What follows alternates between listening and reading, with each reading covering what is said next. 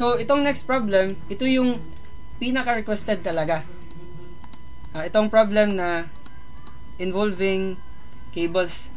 Medyo mahirap kasi to kasi uh, ako rin dati sa time namin lumabas to sa quiz and then yung ginawa ko talaga is nag-joint ako sa each point.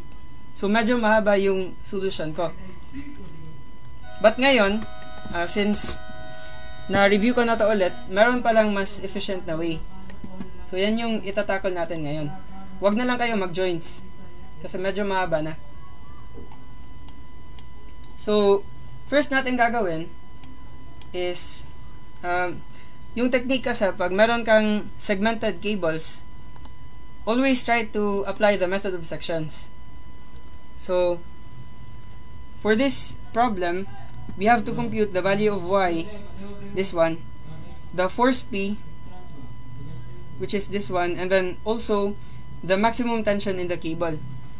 So, usually, yung atake ko sa problems na to is I will first determine the horizontal members. Kasi pwede akong mag-cut dyan, and then, essentially, the same yung moment arm ko, either left or uh, doon ako sa right side. So, itong BC, this is horizontal kasi, so, ikakat ko na lang yan. So, uh, lalabas na yung internal forces, meron akong BC dyan. And also, ito. Yan. So, I have two options. I can take moments sa left side ng cut or sa right side ng cut. So, gagawin natin yan. Now, meron tayong dalawang reactions dito. Meron tayong AY. We also have AX. Acting away from the body yan kasi tensile lahat ng forces dito. So, dito rin, meron tayong EX saka uh, wait lang. Saka EY excuse me. So yung resultant ng AY saka AX or the resultant at A that's equivalent to the force in member AB yung resultant din ng for uh, dito yung EY sa EX, yung resultant niya is equal to the force in member DE. So that's another concept that we have to remember. So consider natin yung left side ng cut sa right side. So for the left side of the cut, yan, we can express an equation by taking moments about A. So we have BC, it will cause a counterclockwise rotation, so minus BC pala, multiplied by a moment arm of Y going to A. Yan, so minus BC times Y plus 4 multiplied by 4 meters. So, set natin to 0. Now, we can move this uh, other side ng equation. So, this will be BC times Y equals 16. Yan. So, this will further reduce into BC equals 16 divided by y. Yan. Now, for the second equation, I can take moments about E. So, summation of moments about E, I will still have the same moment arm for BC. So, BC, it will now cause a uh, clockwise rotation about E. So, we have to use plus BC multiplied by Y. And then, this force, P multiplied by 5 meters going to E. So, minus P times 5. And then, ito naman, 6 kn multiplied by a distance of 2.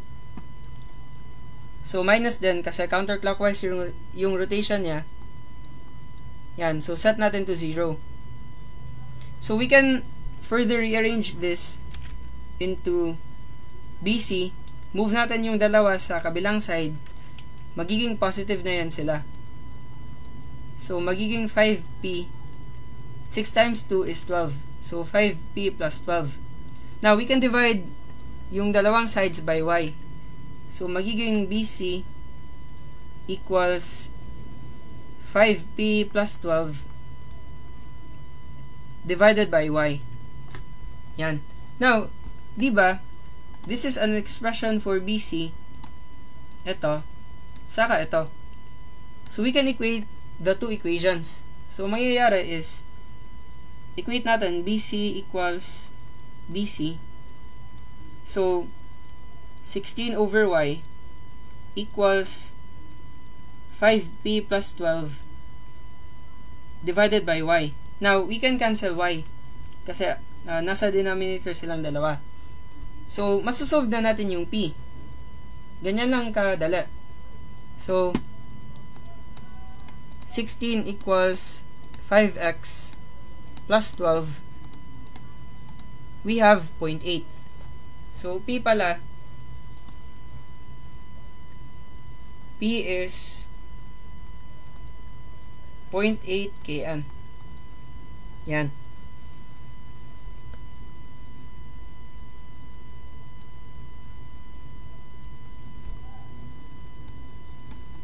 So, dito, the force P needed to hold the cable in the position, ito dapat, letter E.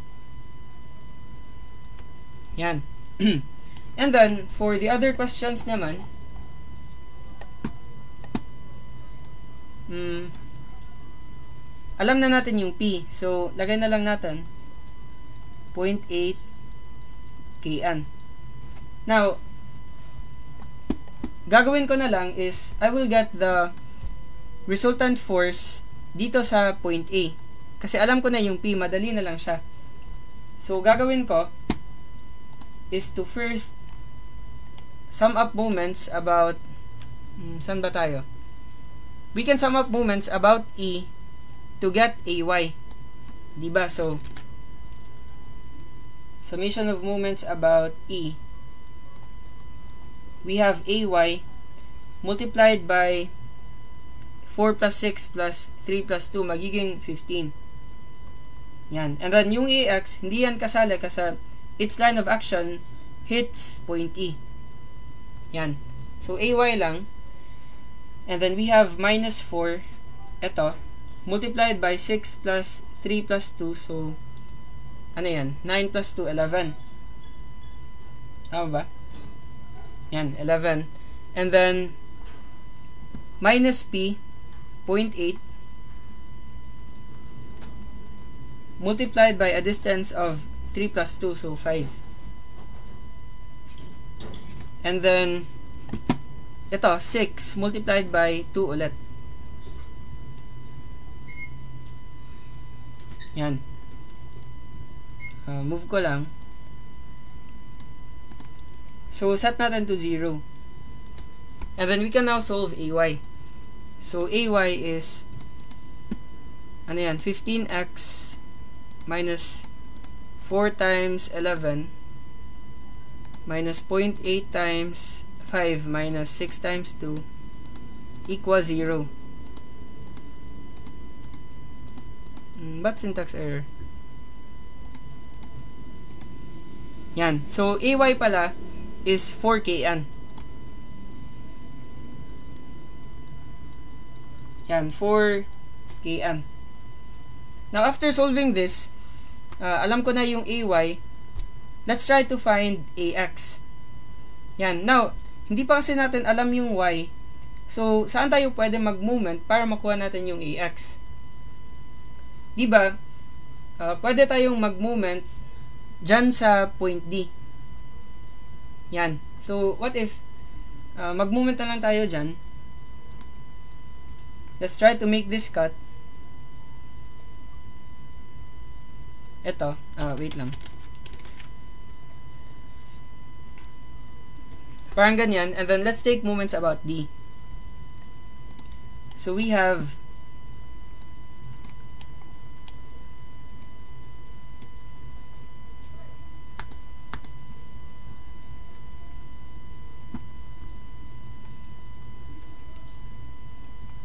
summation of moments about D. This is 4. Uh, ah, by the way, you can consider the right side. But nasimulan ko na kasi ito na lang. Mas madali pag sa right side kasi yung EX saka AX equal lang sila in magnitude kasi sila lang yung horizontal forces. So, uh, ito na lang. Let's consider the left side of the cut. Yan. So, 4 multiplied by 15 going to E, uh, going to D, ano pala, hindi pala 15, ano lang, 6 plus 4 plus 3, so 13. Yan. And then, minus 4 for this one, multiplied by 6 plus 3 going to point D. So, multiply by 9. And then, minus 0.8 multiplied by 3 meters then. Yan. And then, we have AX, this force multiplied by a distance of 3 meters going to D. Again, hindi tayo nag-moment sa C or B kasi hindi pa natin alam yung Y. Yan yung purpose natin. So, minus AX times 3. Included na ito rin, saka Uh, itong 6, hindi na yan kasali kasi dyan tayo nagmo-moment sa D. So, setting this to 0, we have 4 times 13 minus 4 times 9 minus 0.8 multiplied by 3 minus 3x. So, set to 0, we have 4.53. Yan, ito pala yung AX. So, if this is 4.53, yan, then this must also be 4.53. Again, equal lang yung AX saka EX if you will sum up forces horizontal. Yan, and then we can also solve EY. Uh, later na lang. Kasi yung first natin uh, kukunin, itong value ng Y na lang. Now, we can solve the value of y by using the resultant of ay and ax. Kasi yung resultant niya, that's the force in member AB. Yan. So, meron yun siyang resultant which is uh, kunin natin parang square root of 4 squared plus 4.53 squared. Ito din yung force sa member AB. Yan. So, this is, ano pala, AB equals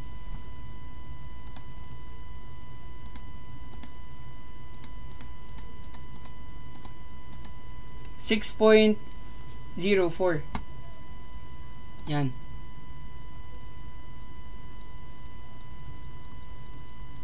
Now, considering this triangle, yan, makukuha natin to.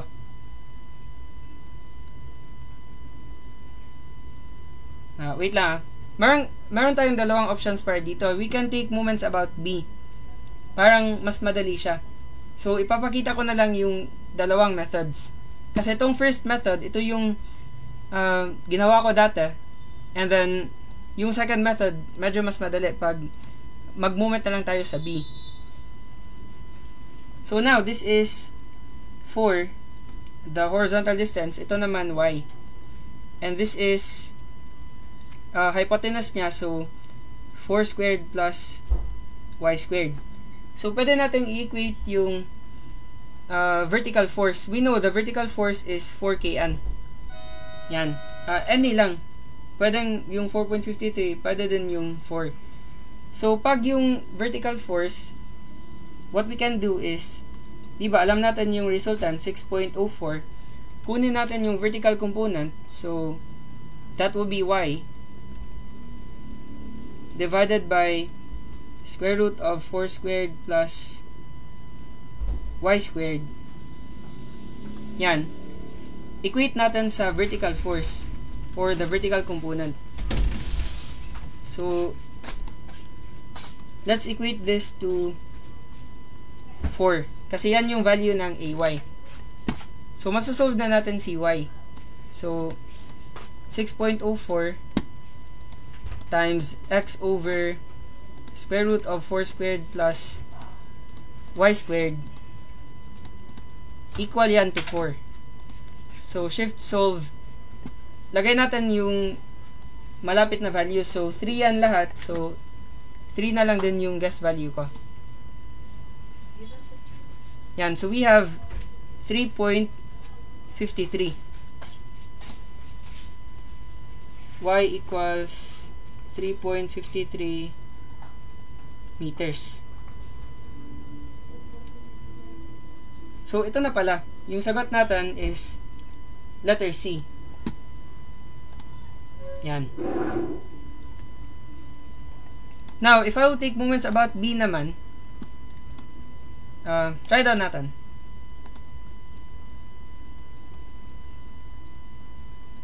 Moment about B. We have AX, which is 4.53 multiplied by Y. Equal yan to 4kn multiplied by a distance a distance of 4. So 4 times 4. Um, mukhang mas madali ito. So 16 divided by 4.53. Yan. So the same lang. 3.53 lang din.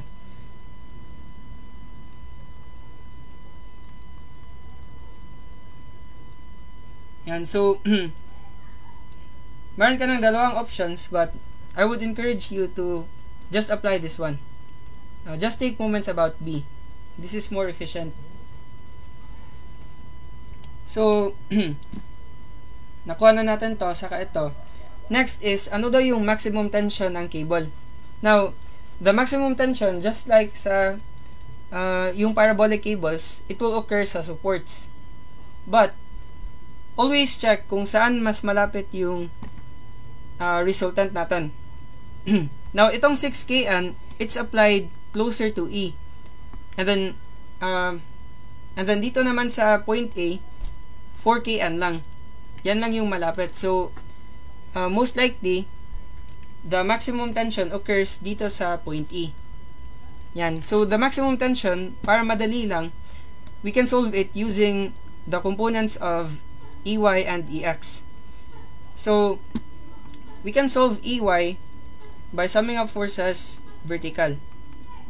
Yan. So, we have AY which is 4 positive kasi upward minus 4 minus 0.8 ito minus 6 plus EY. So, set natin to 0 we have 4 minus 4 minus 0.8 minus 6 plus x equals 0. So, this is 6.8.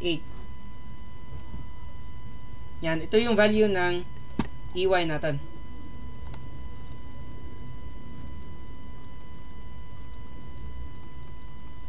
So, if this is 6.8, yung maximum tension pala is the resultant of these forces. Yan. So, this is square root of 6.8 squared plus 4.53 squared. Yan. So, input natin. We have 8.17.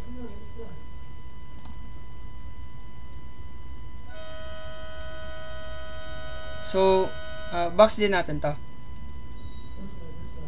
Yan. So, 0.8, 8.17. Yan. So, the maximum tension pala is letter C. Nag-round up lang siya. Yan.